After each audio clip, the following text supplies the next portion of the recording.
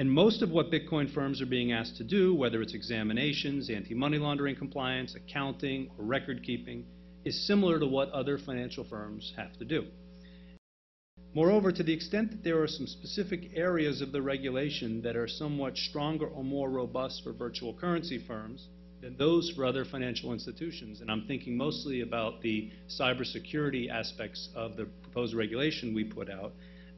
that is primarily because we are actually considering and intend to use these new heightened cybersecurity rules uh, with the rest of our regulated banks and insurance companies uh, going forward. At a basic level, our guiding principle for virtual currency regulation uh, is similar to our guiding principle for regulation at all financial companies.